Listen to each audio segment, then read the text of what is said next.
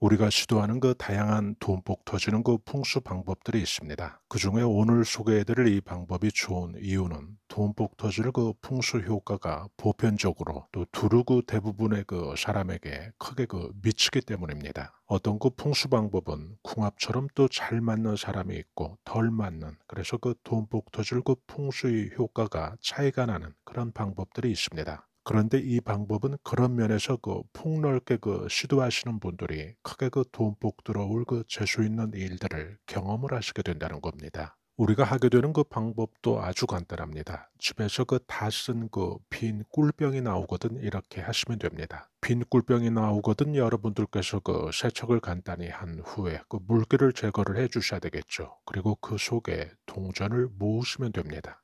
동전은 그 사람의 돈복, 재물복, 부를 상징을 합니다. 빈 꿀병은 그 낭비 없이 찰지게 그 돈을 비축을 하고 또 보존시킬 수 있는 그 공간적인 암시가 되어줍니다. 빈 꿀병에 그 동전을 모으게 되면 집으로 그 주변의 그 재물운의 그 에너지를 흡수시킵니다. 이는 그 꿀병이 상징하는 그 친화력 때문에 그렇습니다. 집안의 그 재정적인 복지에 유익함을 그 제공한다는 그런 의미입니다. 풍수에서는 그 빈 꿀병에는 불을 축적시키는 그 힘이 아주 그 강한 공간으로 간주합니다. 동전은 또한 그 재질이 금속이죠. 금속은 그 강한 에너지의 그 집약의 기운이 그 속에는 또 실려 있다는 것입니다. 여러분들께서 그 빈 꿀병에 그 동전을 모으게 되면 돈복의 에너지 또 금속성의 그 요소가 더욱 집중됩니다. 또한 그 빈 꿀병이 그 유리병이기 때문에 유리가 줄 수 있는 그 풍수적인 효과가 있습니다. 시각적으로 그 풍요롭게 드러나는 그 행운과 돈복의 암시를 우리에게 입체적으로 안겨준다는 것입니다. 여러분들께서도 동전과 꿀병을 사용하는 이런 풍수 방법으로 집으로 그 돈복 성장 그리고 부의 그 축적의 기운을 가득